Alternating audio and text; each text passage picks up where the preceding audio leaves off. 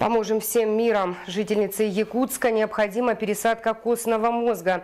Мария Садовникова, у которой рак крови, оказать помощь могут только местные жители. Донор должен совпадать со сложным, свойственным народу саха генотипом. Подробнее расскажет Юлия Великодная.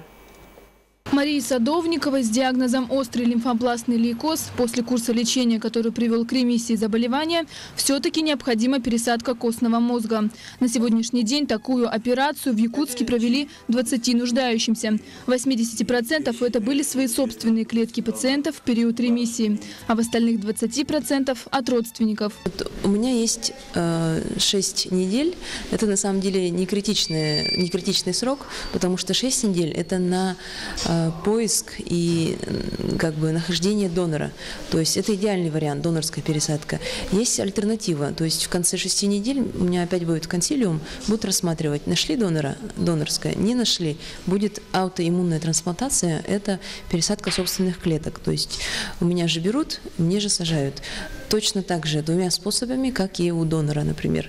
Маше 27 лет. У нее есть мама, муж и дочка, которой полтора года. По словам врачей, подобрать донора можно только среди якутов или тех, кто имеет якутские корни. У народа Саха генотип, информационный код сложный. В генотипе якутов э, есть очень много различных сочетаний, э, которые э, появились благодаря историческим периодам развития территории Республики Саха-Якутия.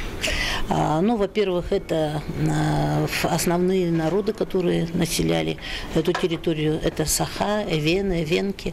Найти близнеца по крови очень непросто. Поэтому Мария просит жителей республики отнестись к акции с большой ответственностью. Осознанно прийти к вероятному донорству. Так как для выявления генотипа используются дорогостоящие реагенты. А типирование проводится 2-3 недели. Если люди идут и думают, а я сдам, ну потом откажусь, так лучше даже не приходить, потому что это тратится опять-таки э, средства, время э, лаборатории, фонда и самих пациентов, потому что пациенты все это время ждут с надеждой. И не только я, другие пациенты э, на данный момент есть якутяне, очень много детей. Друзья Марии помогают девушке в сложный период ее жизни, в том числе и в организации акции. Сегодня кровь сдают и в Москве, и в Петербурге, а с 3 по 5 мая желающие якутяне смогут подойти на станцию переливания крови в Якутске. Участие в акции включит вас в национальный регистр доноров. Важно понимать, что донорство костного мозга безопасно для человека, а донору предусмотрено денежное вознаграждение. Юлия Великодная, Евгений Лугинов, НВК «Саха», Якутск.